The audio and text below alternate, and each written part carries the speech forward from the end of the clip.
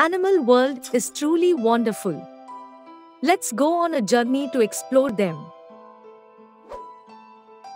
The yellow-eyed babbler is a passerine bird native to South and Southeast Asia. It inhabits shrubland, grassland and wetland habitats. On the IUCN Red List, it is listed as least concern because of its wide distribution and stable population.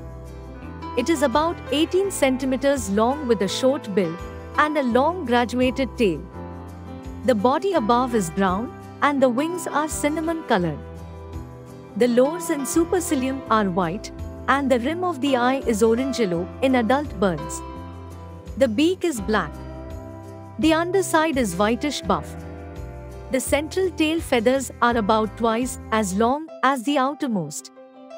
The sexes are indistinguishable in the field. Like babblers, these birds are usually seen in small groups of 5 to 15, especially in the non-breeding season.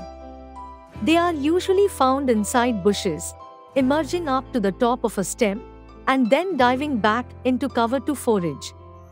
They feed mainly on insects, but take berries as well as nectar. When capturing insects, they may hold them down with their feet. I just hope it was a marvelous journey. Thank you for your interest in wildlife. See you pretty soon. Till then, take care and be safe.